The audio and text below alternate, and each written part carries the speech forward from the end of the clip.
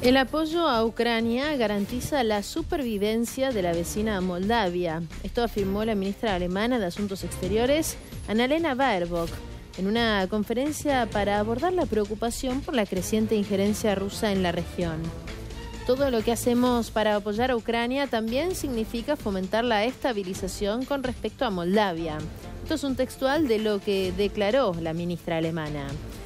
Ella está de visita en Chisinau con motivo de la plataforma de asociación con Moldavia, junto con sus homólogos de Francia, Rumania, Polonia, Países Bajos y Lituania.